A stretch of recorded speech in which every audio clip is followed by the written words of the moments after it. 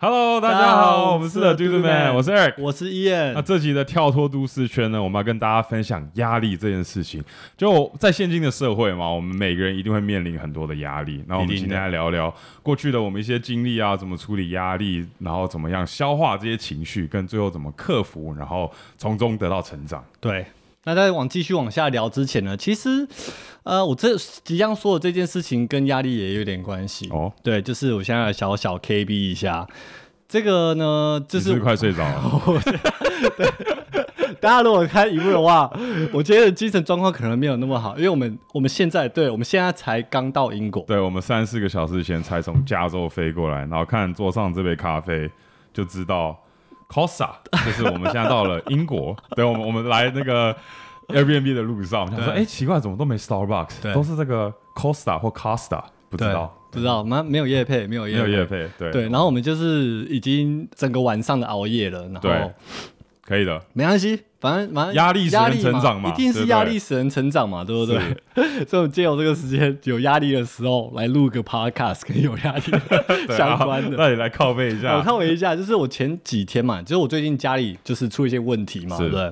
然后反正啊，这个问题是什么不重要，我就是要去打电话，然后我要 cancel 我的 security system 的 subscription，OK，我要换一家了。我现在要靠别的是，就是要 cancel 一个东西，一个 subscription，他们故意弄得超爆难，是合理啦，很靠背，这个真的很靠背，就是有一些公司有一些产品，它的故意弄得很难，是，所以大家会觉得就是想要怎么 cancel 嘛，嗯，它的它的 path 是这样，就是哦，app 的手机。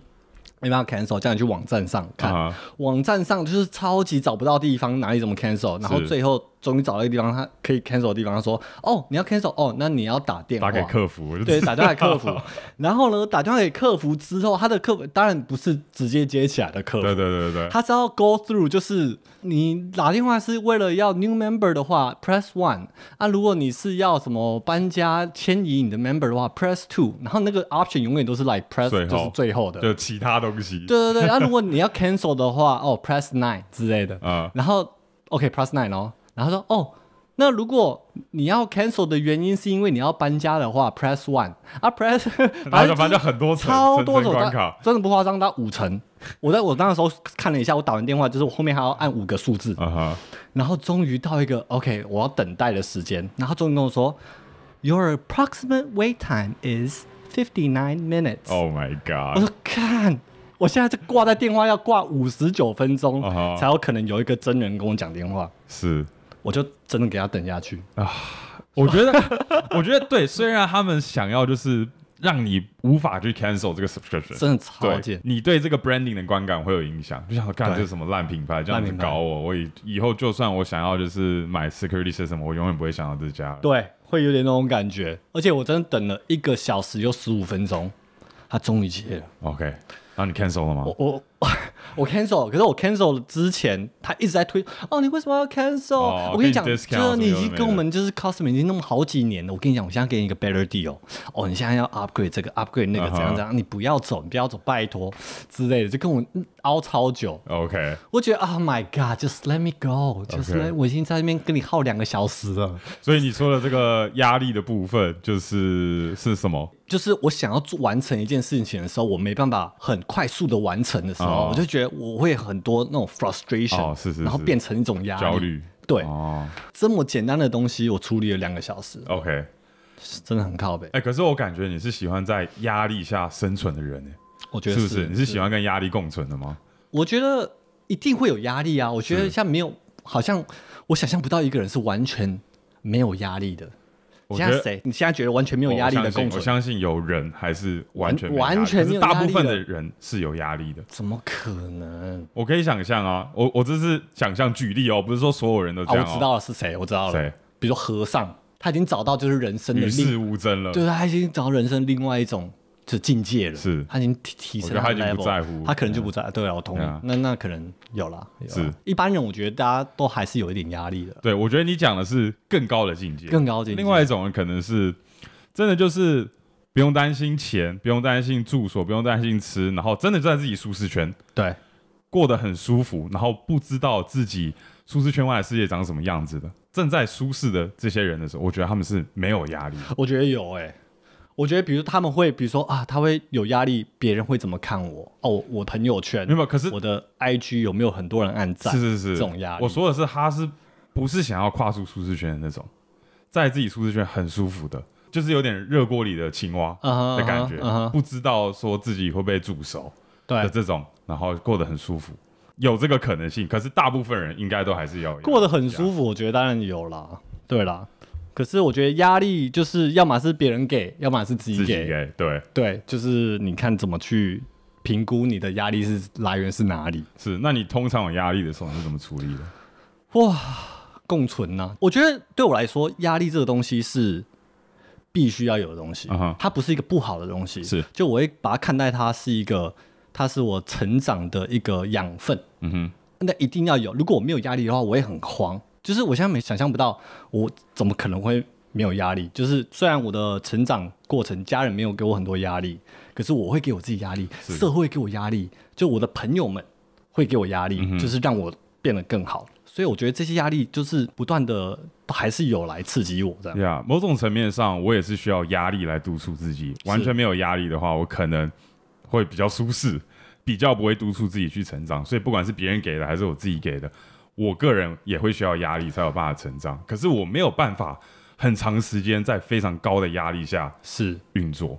是那到那种就是很高压、很长时间的话，我会有点 panic，然后焦虑，会没办法把事情做好。所以我个人是会需要一点压力，可是我会想要赶快把这个压力给解决掉。压力根源，我想要去探讨是哪里来的，然后跟我有没有办法去解决。哦，我觉得把它看成两种压力，嗯一个是这种长期的压力，是。就是无时无刻都有的这种压力，呃，可能就是你想要就是找到更好的工作啊，或者想要申请大学，就是其实它一直都有，不是说你考完一个试就解决了。对对对，那跟像比如说考试的这种，就是嗯你就是这个 event、啊，你就要很希望自己有很好成绩，就是一次的这种高压，所以我觉得这这种比较长期的压力，我觉得可能大家多少都有。都会有呀。然后你说的那是突然那种高压，你没办法，就每天都考一个很重要的事，就是一定要其中一个可能一个礼拜就考这一个试，然后过了就可以要松一下这样。是是是，因为对我来说，我现在想象啊，因为我们现在主业就是在拍影片嘛。对，如果每一集都是马拉松的那种企划，嗯，长期在高压的情况下，然后没有办法有喘息的空间，我觉得每一集都会拍不好。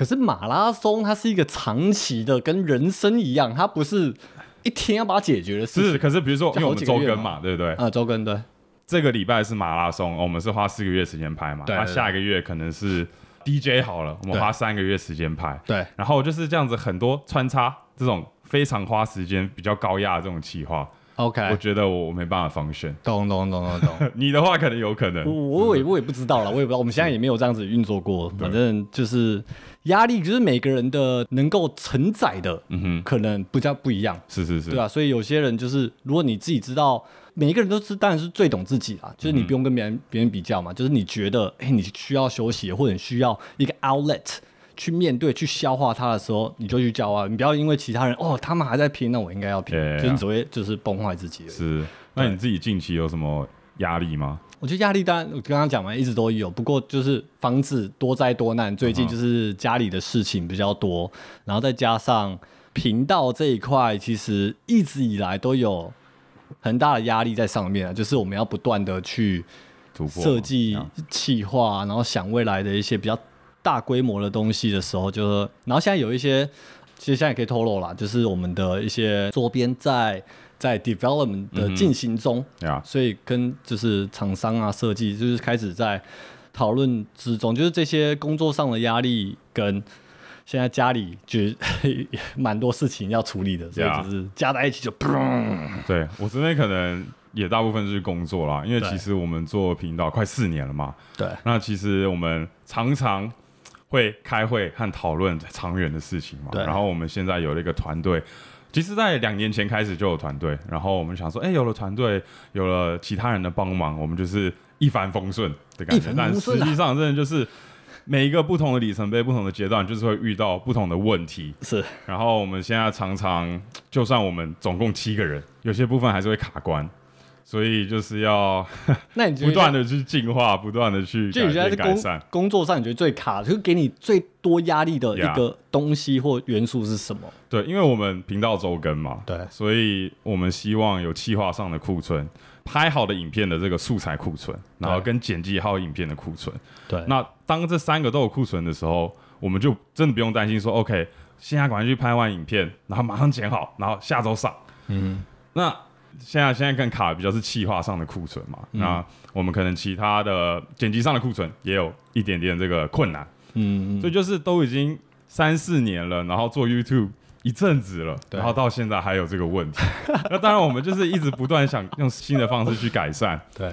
然后比如说找新的人才进来啊，或者是我们做事的方式要改变，对。就是一个 要不断学习的过程。那我们也是常常会有做这种比较长远的讨论计划嘛。那嗯希望下次的讨论可以找出一个呃成果出来，找出一个解决方法。，Yeah，我觉得我现在跟你讲一样，就是压力很大，就是因为我们现在就是我们知道内部跟系统上好像有一些问题，Yeah 没办法，就是这种系统没办法长远的就走。然后我们现在在欧洲嘛，在英国也是即将好几个礼拜会集中排片，嗯哼，所以很多问题我们也不能现在这个 moment 就花这个时间去去做很大方面的调整，是。所以我们就在等这个欧洲行之后，我们真的要做下来，就是可能要花好几天，甚至一两个礼拜去做一些就是更长远的规划探讨，嗯哼。对吧、希望那个时候可以就是有一些更好的方向。对啊，就是每次讨论都会得到一些新的怎么样，新的发展，对然后新的尝试，然后当然就是要尝试之后才知道哦，这是不是适合的。那希望下次讨论出来的这个新的尝试，对，会是我们一直在寻找的那个方式。现在讲的好像很很很神秘，大家都不知道我在讲什么。是是是，对，反正就是对我们内部需要做一些调整的。对啊。不过我近期真的得到了一个压力，哎呦就是因为我们不是马拉松，我跑上次跑然后失败嘛，是也不能说是不失败，能说失败哦，不是失败，对，不是失败哦，就是 DQ，就是没跑完，我被车接走。对啊，当然就是像影片你讲的嘛，我也是要继续尝试，继续努力。然后近期就是也报名了下一场马拉松，所以要就是十月二十二的长荣马。对那现在讲出去，也就是给自己的这个压力嘛，对不对？那我就是需要这个压力，我才会督促自己。对，这是一个好的压力，对我来说，呀、所以是健康的，健康的就是有些，因为我怕就是有时候压力太多会变成不健康的压力。，对，这个对我来说是健康的压力。这怎么你要怎么拿捏？就是从健康的到太多的会变不健康，你怎么知道那个点？这其实就要回到舒适圈。嗯，是不是？因为如果这是我第一次尝试马拉松，对那你跟我说我剩十五周可以训练，嗯，然后四小时内完成，这对我来说可能是不健康的压力，哦、因为我从来没经验，然后我不知道练习的状况怎么样啊，嗯然后你要我十五周后跑一个我从来没跑过的马拉松，然后四小时之内，对。这个是对我来说可能比较高压。，OK，对，但是可是这次对我来说是哦，我已经尝试过马拉松，我以前嗯有训练过了，大家知道这个训练的菜单会长什么样子，会遇到什么困难，因此对我来说，它是比较在我舒适圈那一点，就是它有离我舒适圈比较靠近的一个东西，嗯所以对我来说，它是健康的压力，OK，对啊，好，那我们就期待 Eric 十月中的表现了。对，再给你一点压力，这样。对对对，健康给大家多给我一点健康的压力，给他一点健康的压力压力，对对对，跟大家分享一下，就是我自己从小到大，我觉得有记忆点最大的一些压力的时期，好了，嗯就小学啊、幼稚园，老实说有什么压力吗？我现在回想，我是真的觉得还好。我个人啊，可能有，些小在学跟幼稚园吗？对啊，没有什么压力没，有什么压力嘛我。觉得那个时候的压力比较是交朋友上面的压力。我在这一班有没有办法交到好朋友？然后可能如果我被排挤，那我就有这方面的压力。可是我觉得都是比较小、对小小那种，你过几天就忘记了这种压力。对，就是至少那个时候的我们应该是有交到朋友的啦，是吗？是应该有对对对有嘛有嘛，有所以所以还好了，对对对对。那我觉得第一个真的面临到的很大的压力，你应该也有，嗯就是来美国的那一年。对，是跟大家分享过，就是我超不想要来美国。那时候我是小五，然后要升小六，所以我过来读小六，就是抛弃我所有的生活圈跟朋友圈，嗯来这边就是完全被大家啃的感觉，就是丢到一个很险恶的社会这。么 popular，一堆女生涌上来哦。不不是啊，不是被大家啃。不，是男生在啃的。男生在啃，男生在啃，对，反正就是没有很友善嘛，就当然也会面临到一些种族歧视，然后你的语言不通，然后自信一定就会整个掉下来。本来是比较外向的小孩，现在变成就是在教室里面都不敢说话，是。然后那时候的压力就是生存，我要怎么在这个社会里面生存？呃，就是在上课好了，在上课的时候，我根本就不知道那老师在说什么，嗯可是我是很认真在听哦，我不是。说自己在那边，嗯，那时候也没玩手机，根本没手机，反正那边那时候带一个小小的金字典，嗯哼，我不知道你知不知道，金字就是一个电子词典，电子词典，对不对？对，那时候已经很高科技的东西了。然后在那边偶尔查几个单词，因为老师说的很快，我也不知道要查什么，所以大多数时间也没有在查。下课时候、放学之前，我还要跟老师说今天功课到底是什么，可不可以写在联络簿上面，嗯一个本本上面。那我不知道写，我知道他写完之后，我回家查老师写了什么，我才知道那天我功课到底是什么。然后功课知道了，我才整花人家好几倍的时间去写我需要写的作业。嗯然后那个整个过程当然都是非常的非常的孤独的啦。不过好险就是我家人那时候一起陪伴，可是你就没有办法跟其他的小孩一样过他们的六年级，是是，甚至到七年级。是，我觉得当初来美国的压力是一是课业上，就是语言上面的这个隔阂嘛，对。这这方面的压力，跟交朋友嗯，这个新的朋友圈，然后又加上语言的隔阂，我要怎么样交新的朋友？主要是这两方面的压力，因为其实呃，我们的妈妈都有来美国陪我们，所以就是这方面的精神支柱爸爸也有爸爸爸也有有，你爸没有我爸没有啊，。你爸没有？对对我爸有，我爸也有。OK，所以哦，你全家搬过哦，来，全家搬过来。OK，所以精神上的支柱其实是有的，是有的主要是在学校学新的语言跟交朋友是的这两个压力。那当时对我来说，解决压力的方式就是要找 baby steps 去做 improvement。怎么说？对，就是比如说语言上的隔阂嘛。嗯我我第一天当告诉学校压力已经超爆大，什么都听不懂嘛。对那如果我有渐渐的英文变得越来越好，就是我给自己设目标嘛，就是多跟人家讲话，然后我有看得到这个改善的时候，这个压力相对就会越来越小。嗯嗯所以对我来说，就是有压力的时候，我会问自己说：，哎、我有没办法做改变？没办法做改变，OK，好，那不干我的事，这不是不是我能解决的事情。嗯啊，如果是我能改变的，我就是帮自己设目标，然后做规划。做规划的那个当下，做完的时候，我想，哎、压力其实就变小了，因为我知道 I'm making steps to improve。我觉得这是跟着时间走，就是在 progress 的时候，它就是因为它是一个长期的压力嘛。对对我们来说，就是语言跟新的社会这一块，它不是就是一个礼拜可以解决，是是是它，真的是一年、两年，甚至到三年啊。确实啊，就是你慢慢的融入这个社会，你这个担忧就越来越淡了。对。对啊，接我下一个阶段让我有压力的就是大学的时期的这种课业压力啦。可是我哦，所以你高中就是没有什么课业压力。没有高中有啊，就是我我现在回想就觉得啊，高中的压力不算什么压力，对对对，因为其实我真的刚进 Berkeley 的时候，对。一开始自信满满，然后周遭的人就很厉害啊，全部都是其他高中顶尖的的学生，就是他们都来 Berkeley 嘛。对，，UCLA 我不确定，对对？然后反正就是。我觉得这竞争很激烈，然后我我妈也很喜欢吓我说：“哎、b e r k e l e y 的毕业率其实不高、哎，什么、嗯什么六七十趴，什么很多人其实没办法毕业。”啊，我确实有遇到很多同学是没办法毕业的。嗯。我记得那是我下一个阶段有压力的时候。可是你大一、大二的时候有成绩不好到你觉得没办法毕业，因为没办法毕业，应该是你连 C 都没有，才算没有办法毕业。是当时就是你知道会多想嘛？嗯我我我是高中 straight A's 哎、对。然后我到大学哇，我拿了一个 B plus，嗯，然后这没个办法毕业，没办法毕业。然后大大三大四课越来越难啊，嗯然后就会往那边，因为刚好我可能交的一些朋友都比较年纪比我大一点。OK，我大一、大二就交一些大三、大四的朋友啊，确实就是有一些人没办法毕业或延毕。是我当时想说，哦，这么难是不是？然后就会有点紧张啊。了解。对啊，其实我我的学业的部分，我一直以来都没有给大家自己太多压力，我家人也没有给我压力。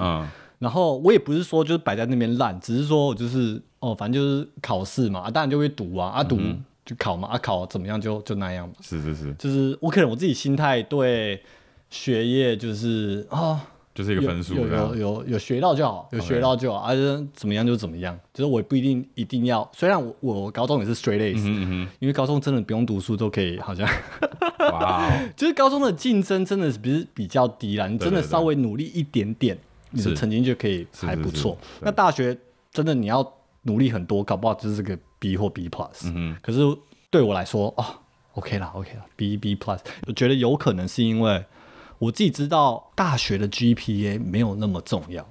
哦，你那个时候就知道了。对我大概知道，我是毕业找到工作之后，我想说 哦，所以也不用 straight A's 嘛。不用不用催泪啊。是是是，因为就是找工作的时候，大家会比较看重 internships，跟真的你大学是哪一所，啊哈，跟哪个科系，跟你有没有一些 internship 的的经历。我不确定哎，因为我确实我大三在找实习的时候我们我个人没有找到这个实习机会嘛，可是我周遭其他找到实习机会的朋友都是 straight A's 的朋友，哦，所以我就会觉得，哎、他们成绩比较好，那我成绩比较不好，以后是不是工作机会比较少？嗯，所以 internship 可能还是会看一点 GPA 咯。Maybe、我记得我就是 A minus 啦，A minus B plus 的这个对区间，然后找不到机会，OK，那可能我的那个什么 interview skills 也很差，那个时候。Maybe 也有可能，也有可能啊。不过我现在回想，我在读 UCLA 的时候，压力比较大的，我觉得是社交，嗯，因为认识我的人都知道我是一个比较内向的人。你是说到了美国以后变内向？没有没有，我本来你在台湾的时候也内向吗其实好了好了，我我不知道，我现在回想我在台湾的小学的时候，我是蛮外向的，？OK，可是我现在就是真的比较内向。我测那个什么 MBTI，我就是一个内向的人。OK，然后我确实啊，在在公众场合啊，人多的时候，我会比较安静。所以我在大学的时候，其实我不知道你，我的压力就来自于就是我想要 network，我想要交朋友，然后想要 be out there。Yeah，可是我我的个性可能就没有那么的 outgoing 的时候，对我就是非常被动，然后我就要逼，我真的是逼自己，就是我很有意识的在逼自己做这件事情，让自己更嗯 active。所以主要的压力是你给你自己的嘛，对不对？对对，就是我想要，就是说大家都说大学很重要，就是 network 啊，啊，对对对大学就是要出去玩啊什么的，所以我可能那时候的观念就是说，我都到大学了，我不能关在家里，不能关在宿舍，我就是要出去，然后很 active 的交朋友。难怪你课业上都没有压力，因为都在交朋友。都在想这些有的没的。对，这是我的压力比较多。那这这压力对你来说是很长期的吗？还是说，OK，我开始有自己的朋友圈之后，这个压力是不是就没了？没有诶、有自己朋友圈的时候，因为我不想要固定，比如说就是这六七个朋友圈就有一些拓展朋友圈。活动大活动的时候，就比如说我会逼自己去。大二的时候，我记得我就当 activities director，Right。就一直在办活动。然后到大四的时候，我已经当到 external vice president，嗯，就也是这个 position 就是要跟外面的人要很外向的人，就很外向啊，就我要跟别的学校的台湾同学会去接洽一些东西。然后大学的时候，我还我真的这个个性我真的超不适合，很多人可能不知道，我爸妈可能都不知道。嗯大学的时候，我打工当夜店的那个呃 Bouncer 不是嗯 bouncer 啊，那个叫卖票的那个人，哦，PR，算 PR 吧，sales，对对对对对，就是。哇，这以前是一个玩咖吗？然后真的不是，我真的就是去那边卖票而已。然后就是觉得，哎、我拿这个工作的时候，就应应该可以认识蛮多有趣的人吧。OK，这样子去结，果有吗？可能就是认识到，可是我会觉得好像跟我的 vibe 不太一样，哦不太一样也不会深交、对对对对对，了解。反正就是把我自己一直往外推，然后想要 network，想要让我自己更 social 的，一直一直逼自己这样。OK，对，所以到了下一个阶段 Yeah 我们两个有比较巨大压力的时候，应该就是工作场合里了。哇，工作对我来说，工作应该是我这辈子压力最大的时候，有包括做 YouTube 吗有包括做 YouTube。？OK，对，就是当然啦，对对对，尤其是在 Apple 啦，Apple 的工嗯的的的压力真的是，我到现在还会做噩梦的嗯这种压力，是就已经过了好几年了。然后我觉得主要当然是在看团队，看你的你的主管，为什么我会一直在那边靠背 Google 的工程师？他们可能就不知道压力是什么，你知道吗？就很多人跟我听起 complain，哦，我工作好累哦，今天八点才回家，然后说看你，you don't know，you don't know what 十一点回家这样。就，十一点或者是半夜一两点才回家的我觉得那时候的高压环境也有塑造，就是教我很多东西的。嗯我觉得我在苹果的五年的工作经验，我觉得在可能是别人的可能十年或者是十五年，就是嗯做的东西，然后面对到的问题跟学到的东西，真的是我自己都觉得比多别人多好多倍。那你你觉得当时是健康的压力吗？我觉得有点不健康了，老实说，有一点不健康。那你就是 looking back，你觉得要你重新过这在苹果的生活，你会怎么样去改变？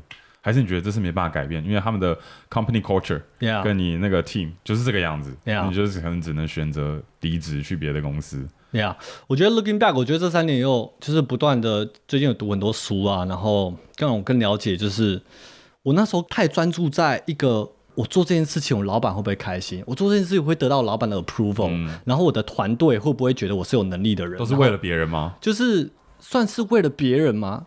我想要讲的是。我现在会有另外一个心态，是说我做这件事情对公司有没有帮助，对社会有没有帮助？哦，才是想的更大方向、更广一点。对对对，所以我在做事情的时候，不会好像一直被这个东西绑架，就是哦，老板想我做这个，哦，我一定要把这个东西做出来给他，知道啊？现在的我可能说，老板要我做这个，那。就是我现在手上有那么多东西，是我觉得就更重要的。我应该就直接跟老板说：“哎，这个东西我觉得更重要。” OK，阿鲁，你觉得不没有那么重要的话，我们应该 have a talk。OK，所以如果要你重新过一次苹果的生活，你可能会把一些比较不必要的压力排除掉。对，然后把时间跟精力用在比较重要的这些压力和 project 上。对对对，就重要的压力是这个东西有没有在时间内帮公司 deliver，而不是说帮我的主管 deliver，就是 take two steps back。让我了解我每一天的，呃，比如说 fifteen hour work day，是不是 work on something that has more value？Yeah，you know，我觉得你这是解决压力的一个很好的方式，就是我们现今有来自各个不同地方的压力嘛，嗯可能是家人给的压力，朋友给的压力，通才给的压力，课业对，或者是上班、金钱啊等等。我觉得真的，如果你压力大到喘不过来的时候，你可以就是列出来，哎，到底我现在紧张。跟这些压力来源是什么？还在做什么？然后就是这些所有的压力来源，哪些是我能改变的？嗯啊，我能改变之中，他们的优先顺序是什么？哪一个对我来说是最重要的嘛？然后我把这件事情解决，把精力花在这个东西上面，其他比较排在后面、比较不重要的压力，看你有没有就找到方法解决，可以就是疏解压力的一个好的方式。是啊，我我个人常常感到压力大的时候，我就是会问说，哎。奇怪，为什么我现在有这个压力？然后我就是会，我个人是想要把它写出来的，写出来说，哎，为什么会这些压力根源？然后哪些是可以解决，哪些是不能解决的？不然我就是一团感觉压力很大，可是我说不出一个所以然，说，哎，为什么现在压力很大？所以你把它写在，现在有这个就是 practice，把它写出来，然后会让你的思绪比较清楚。对对对，会让我比较清楚。那也不错啊，我觉得这个方法蛮好的，我之后可以试试看。嗯，我我个人是比较 visual 一点，我把它写出来、列出来，我才比较踏实，知道说，哦，对。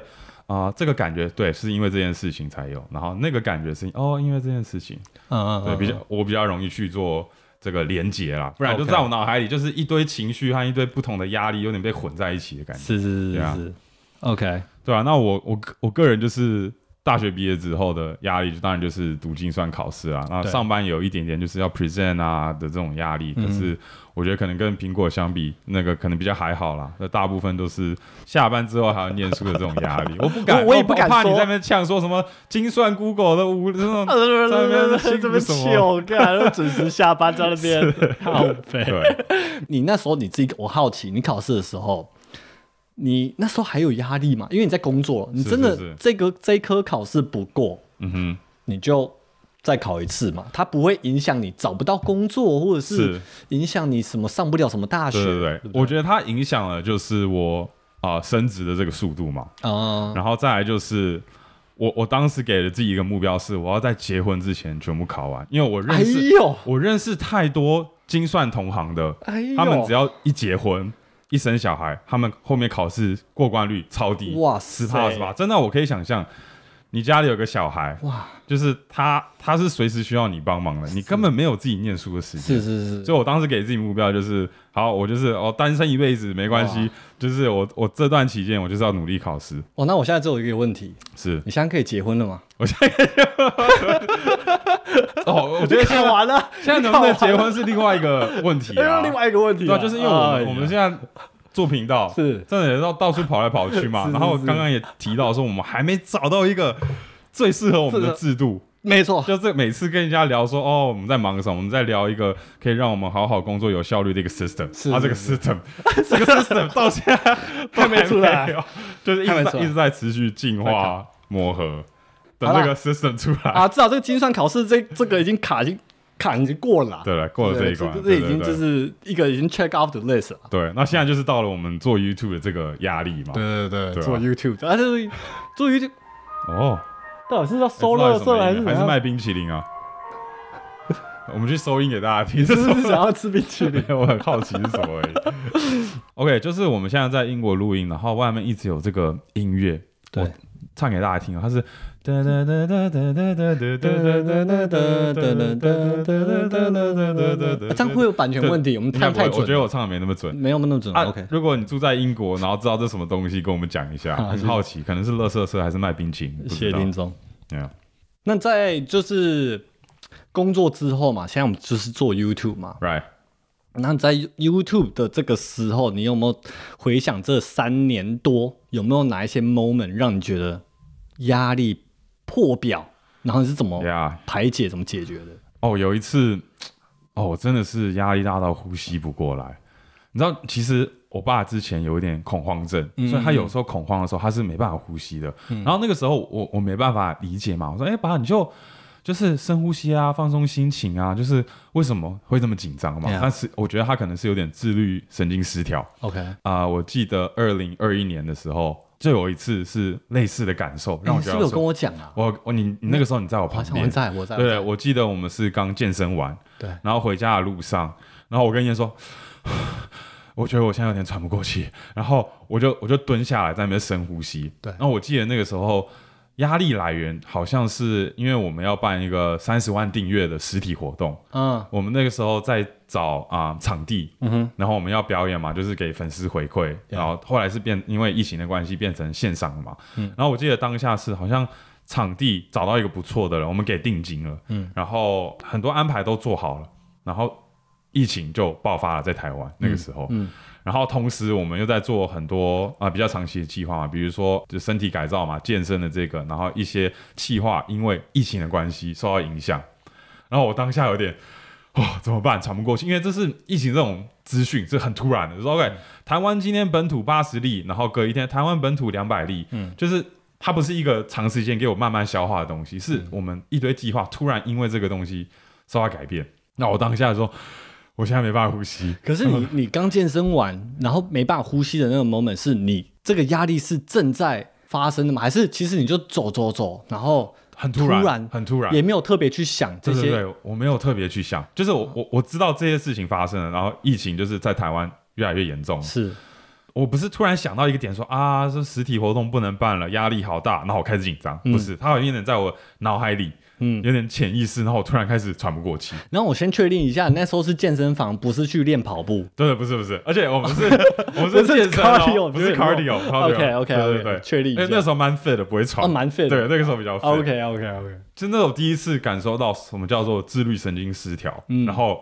有点恐慌。嗯嗯然后他想说，哦，原来我爸是这个感觉，然后我就是更有办法 relay 我我爸有的这种感受。，Yeah，对，我不知道你有没有有。这种。你现在讲到这个 event，我突然想到，就是今年啊就是过年的时候，啊那时候我就是我可能是做频道第一次，我自己觉得一个 panic attack，、跟你一样，就是突然喘不过气来，嗯我就是突然我要蹲，就是坐在地上，嗯。然后很深深深的在那边呼吸，嗯哼好多事情发生，就是就是我们频道就是也有遇到一些瓶颈嘛，嗯因为我对放假这件事情本来就是一个非常容易焦虑的人，哦。然后过年就是我也知道，就是我们要彼此跟家人就是可能就休息一个礼拜，对。然后自己休息。是。啊，对我来说就是压力很大。是。然后再来就是那个时候，就是我在桃园住的地方，我要做一些微装潢，就是我需要铺地板、找地板啊，我就要去找灯。然后那个时候过年就是工人都没有，哦哦对，然后我就是觉得就是 oh 等一个礼拜。对我这边哦。我就去很多地方说，哦，那我可不可以多给你可能一两千块？嗯你就是帮我做一下，我知道是过年什么的。是。然后就是我都觉我在我头脑里面就是看这些东西一直卡，一直卡，我都没办法完成。啊然后频道上面也有一些瓶颈，然后就是我现在人生就是一直在原地踏步。然后我还记得很清楚那一次，我在一个呃灯饰的店，我在选灯，然后就是我们没办法决定哪一款灯，然后我当下崩溃了，就在 Snap，我就其实就是被走而已啊，这边、哦这个灯好好看哦，要不然就是这一款，这一款就是对，我当时没办法，我就是坐下深呼吸，我就觉得我心心脏快要就爆炸，对不对？我胸口快要爆炸。对啊，那一次我自己有吓到，就是哇，我现在怎么会就是会这样可真的是一个 panic attack。所以其实不是选灯的问题，是各个不同的原因、不同的压力在累积，累积的，选灯的这个过程中，就是最后一根稻草，这是最后一根稻草，最后一根电灯管。电灯管、对对对灯泡，最后一颗电灯泡。对，然后我就是没办法，就是在那边呼吸了大概三到五分钟，然后我就说现在我不行，我现在没办法决定这个灯，我现在没办法再看另外一盏灯了。是我现在出去就是散步，呀然。后就走到外面，我就是在外面呼吸，然后反省我现在的人生的。OK，反正那次有吓到我啦，然后让我想到就是不要帮自己绑到那么死的时候，然后让自己有那个时刻在暴躁。我觉得就是适时的要去释放。释放。对，那那你通常怎么释放压力？我释放压力，第一个就是打网球。哦，我跟你讲，我打网球的时候是完全活在我自己的世界，我完全是 就是我是任我身上有任何疼痛我都可以忘记、哇。哦，physical pain 我都可以忘记。那。你打网球输的话，压力会不会更大？其实还好，还好吧，就是就是打那阵也很爽，打很爽啊。就运动。对啊，而且我喜欢就是跟那种比我还要强一点点的人打，啊哈。就我会被挑战到，然后就算输我也 OK，啊哈，不要他就是完全吊打我就好，是。就是比我强一点点，然后我就打了起来，我就觉得是蛮爽的就算输我也觉得蛮爽的。哦，所以这是我第一个就是我排放压力，就算我之后我真半年八个月没打球了，应该要找个时间打一下，是，要不然这周末去温伯登打。哎呦，哎呦，我怕你的冠军不做频道，还是不要了，好？对我？怕我怕。对。然，后另外一个我自己会就是也是这一两年开始有的一个机制嗯来释放压力的，就是当下我会 meditate，哦呀，我觉得深呼吸很有帮助。对，随时你我自己觉得哦，我现在觉得好烦哦，我现在觉得嗯嗯很不管是焦虑、烦躁，或者是不开心，就是生气这些 emotion，我都会马上真的就是深呼吸，嗯。然后找一个安静的地方，就坐五分钟也好，然后就是控制自己的情绪呼吸，然后就就会好很多。是。对，我这边的话是，我会我会分它是什么样的压力。如果这个压力你还在你要，先写下来，我会先写下，真的真的，那你身边都要有笔跟纸。对对对，没有笔跟纸就爆炸我没办法就爆就爆炸放有啊有手机，哦有有手机有手机对对对，现在都用手机打。好险好险，用手机。就是我会先分析这压力是不是我能改变的，嗯是我这边能控制的压力的话，我觉得做规划，然后设目标，看怎么样去改善。是那这样我有这个计划写下来的时候，我当下压力就变小了，嗯因为我知道说未来的我会去一一解决，然后把这个压力用的越来越小。嗯那如果是我比较无法控制的压力，比如说社交上面，家人、朋友、女朋友，对。就是给予的压力，哦，健康给予你健康的压力。你不要讲个女朋友啊对对对，有都，我觉得不管是他是你周周围的什么人，都会有压力，OK，对吧？那你知道社交，那每个个体，你知道相处下来一定有不同的压力嘛？是是。是是，那如果是这种不是能够完全靠我自己解决的压力，就算我我跟你工作嘛，不对不对？对或者不管是工作还是私下，好了，呃可以讲下去了 好可以 继续讲了，继续讲。那如果是我没有办法全部自己去解决这种压力，我就是透过运动，嗯。那嗯，就是跑完当下心情就比较好嘛。跟当然就是跟那个重要人物的沟通，那你跑的时候是不会去想这件事情，还是我还是会？还是会想，可是跑完就运动完真的当下就是心情会比较好，会比较好？同样，对啊。然后再来就是，如果真的是压力大到不行，像你讲的，先深呼吸，嗯，深呼吸个大概五到十分钟之后，就 OK 好，我现在冷静下来，我现在该做什么事情，嗯。然后再来做规划。也也也，我觉得控制情绪这很重要了，就是压力、高压或者让你有这些很冲过来的情绪，不管是喜怒哀乐情绪，就是当下做任何决定都是不理智的。是是，所以你要讲一些很难听的话之前，或者是做一些这种不理智的决定之前，真的先让自己的情绪平稳，嗯哼，就是真的不差那十分钟嘛，就是让平稳之后，你再有一个比较 unbiased 的 emotion 的时候，就 stable emotion 的时候，再去做这些评语啊，或者是是决定，我觉得会好很多。对啊，我觉得过去我们相处的一些经验，我们知道就是自己压力大或者是情绪不稳定的时候，我对们就会说好，我我想一下，你给我几分钟？对，就我我怕我现在讲出太伤人的话，这种。对对对对对。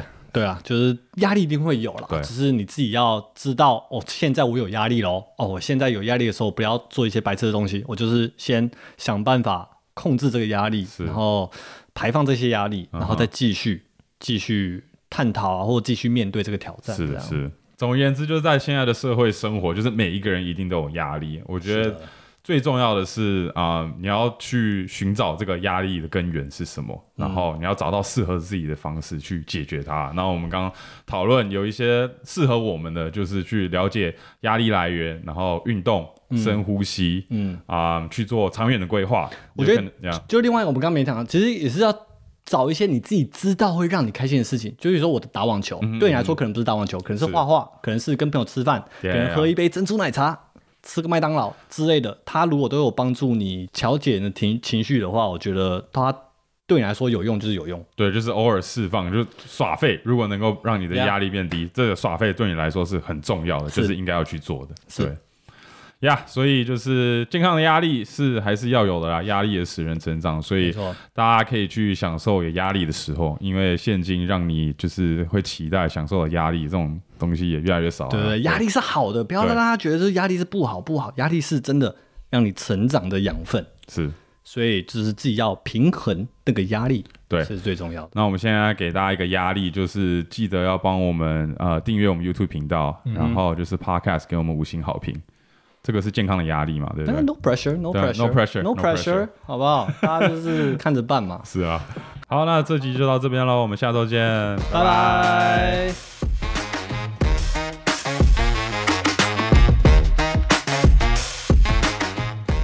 好，现在到了我们 Q&A 的环节，第一个留言是来自纽约的 W 小姐，星期一变得不忧郁了，选我，选我。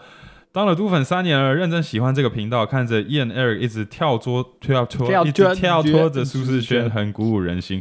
你们真的一直在帮助这个世界的每一个追梦者，谢谢你们疗愈了每周一的 Blue 时间。也祝两位健康顺心幸福。每一集的内容真的都很精彩，尤其最喜欢第二集的真情对谈。问题来了，宣我宣我，想问燕，在苹果工作的日子里，你有没有哪个时间点超级想要离职？又是什么原因让你撑了下去？苹果的面试有 people 吗？一直听到身旁的人疯狂被问刁难的问题，想问 Eric 听了 Eric 的第二集的真情流露，想问如果不当精算师，也不当嘟嘟妹，会想要做什么？也想看 Eric 带子女游湾区，还要鼓励 Eric 真的很棒。我也是 Team Eric，谢谢谢谢。Sorry Ian，但没关系，你的粉丝真的有够多，真的啊！哎，我跟你讲，很多，这每次都有 Podcast 留言，这也是不是第一次？就大家都是留 Team Eric，然后我现在都没有看过一个 Team Ian 的。没有，我跟你讲，我的没有一个哦，我的粉丝可能跟我没关系，比较外向，没关系。然后你的粉丝跟你。我接受，我接受。你粉丝名就比较多。接受。好了，我先回答他第一个问题了，好不好？就是苹果工作里面，当然啦，就是这种高压的环境，其实也很多 moment 就是啊，不想做了，很累，压力很大，或者是呃，老板不给我面子，不给我台阶下之类的都有。可是什么原因让我就是撑了五年？但很多 moment 真的是用撑过去的。我觉得主要原因是因为我知道我在做的东西，它是只有在苹果做得到的东西。我当我因为我那时候的产业就是包装嘛，我的认知真的是以三 C 包装来讲，没有人做的比苹果好。然后我到我的整个供应链，就苹果给我的舞台跟给我的机会，是我觉得其他地方没办法给我的。所以就算累，就算超，我还是觉得这个机会很难得，就所以想要继续做。然后再来就是，我真的觉得，就算我的主管很靠背，然后很 很真的是很很想把他就是嗯又爱又恨打爆打爆他。不过他真的是一个很好的领导者。我觉得工作的时候，其实我工作到后面，第一份工作不会这么想，可是后面的工作你会渐渐发现，什么公司的名字不重要，觉得跟对人比较重要，就是你的团队、你的主管、你的工作的环境的人，他们有没有 push you，他们有没有。Hold you at a higher expectation, higher standard。那这样这些东西都是会让你变得更强或更有能力的人。所以我也看得到，就是苹果的这个环境虽然是高压，不过我知道我有办法从中成长。对不对，我有在学习，我不办法从从中成长。所以这些东西就是啊，算累的时候就是啊，想一下。啊，去 Google 的话，那种包装纸比较烂啊，然后什么，所以就是啊，还是在这边试试看啊。因为在就是要抄的时候，就是我自己觉得就是这个时候抄，就我真的现在要废，我也当然可以去其他地方废，可是我现在就是想要多学东西的时候，就是在苹果这个地方对我来说是很适合学习的环境，这样。嗯，对对，我要讲啊，面试的 Pebble 基本上真的就是要一直练习，耶。就是跟每一家公司的面试一样嘛。对对对，我觉得你要很有自信，你不能让别人觉得你弱弱的。我觉得这整个是你这就包装自己的方式啊，包装工程师分享一下。对对对，包装工程师 一定要包装自己，就是你要展现出很真实，不是很假。当然很多问题你可以练了一百次，呀，可是那一百次的回答你不能变得很。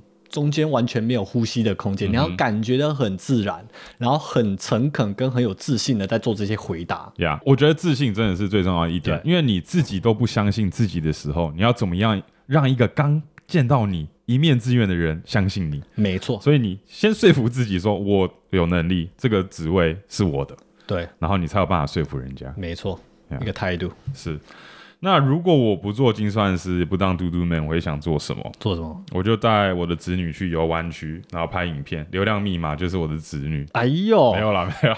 我我觉得其实，因为之前我们之前 podcast 分享嘛，就是我曾经有想过，哎，是不是就不做嘟嘟 man 了？那其实我当下也没想说，那如果不做的话，我另外一条路是什么？我没有想那么多。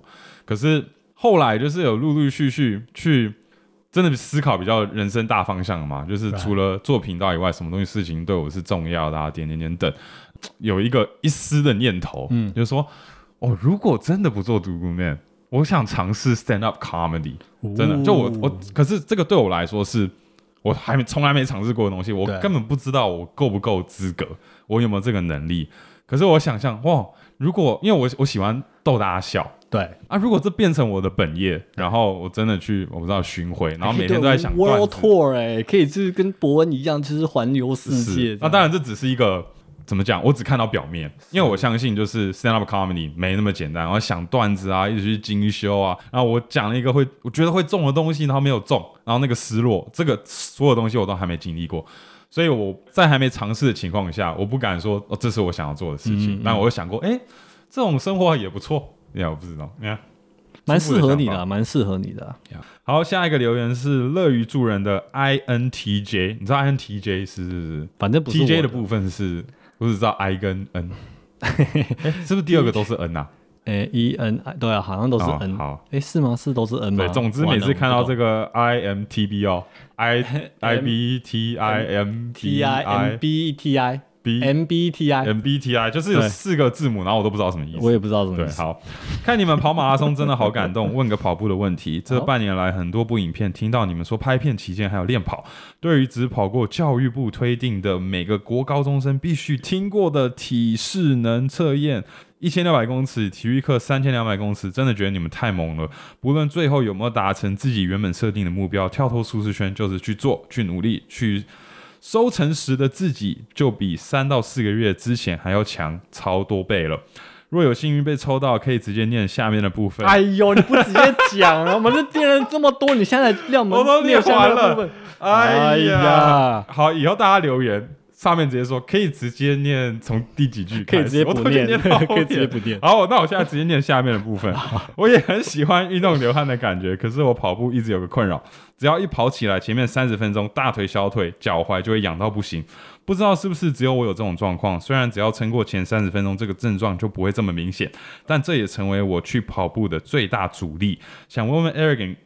想问问 Eric 和 Ian，你们有遇过这样的情况吗？来自软体工程师 Hudson，我觉得这个痒的情况，我个人可能有的是我太久没运动，嗯，然后我一动的时候，我是觉得我的脂肪在痒，嗯，我觉得就是皮痒痒了嘛，哎，好像脂肪太久没被燃烧了，你是皮在痒，我是皮在痒，你是皮在痒，对我我是太久没运动的时候，会有点这种。痒痒的感觉，我觉得，然后就痒的时候我不会不舒服，我想说，OK，很好，我的脂肪正在被燃烧中，继续烧吧，继续痒吧。你喜欢那个痒爽痒爽，喜欢这个痒痒的感觉，Interesting。对，可是没有到变成让我没办法运动，嗯，你有这种？我唯一一次就是，其实我那一集也有呈现出来，我就是有一次对虾子过敏哦，然后真的就是跑的时候全身痒。不过那是因为食物嘛，真的食物，所以我不知道这个哈森你是有没有可能对什么东西过敏，或者你痒的时候你的身体有没有发出任何的疹子什么的之类的？如果没有的话，那可能是脂肪在燃烧吧，脂肪在燃烧而已吧，或者是你的血液在流动而已吧。呀，血液流动的时候会不会痒痒的？应该会吧，不知道。我觉得你可以去看医生啦，看看看看医生。我们不是医生啊。对啊，不过就是如果对你的跑步有影响的话，我觉得还是找专业的人看一下会比较安心呐。呀，对啊。好，下一个留言是来自哦，他就是 emoji 哦，嗯，他是括号点 w 点括号一只手，他故意闹我们，然后一只脸，反正就是很多。呃，符号三个三个表情符号，三个表情符号。马拉松真的好好看，看完马拉松的影片回来听 podcast，真的非常的有感觉。突破舒适圈已经不是只是做和平常不同的事情，而是精神上的突破，是真实活着的感受。我想请问，在做这些挑战的时候，是什么样的信念，或是有没有一句话可以帮助自己撑下去？这可能是在讲你的那一集。哎，你也有自己的一些话会鼓励自己的。因为他的留言是五月十八。我靠！你看那么准。OK，我觉得正在挑战的时候，我会很多话哎，我真的很多话会跟自己讲哎。不过我现在会想到的是，What I do in this moment define who I am today。就是你现在正在面临挑战，或者是你要放弃，你要变变得沮丧，你要很厌世。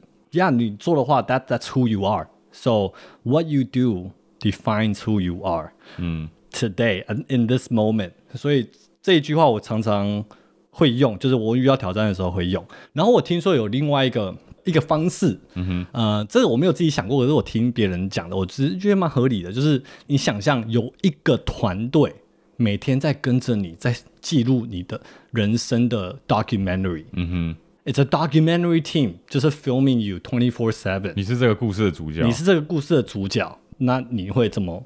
面对或解决现在这这件事情，可是你这样讲是不是变成是说这是一个外在压力？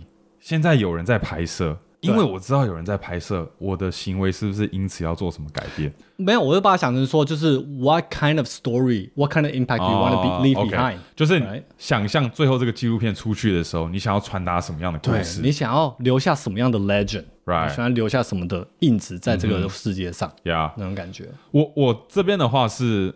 我要知道为什么我在做这个挑战，嗯，就是这个 why 很重要。如果这个 why 我自己都没想清楚，我在这个过程中确实就是会 有点犹豫不决，然后比较没有那么有决心。所以，如果我已经决定要做这件事情，然后我遇到困难的时候，我就会问自己说。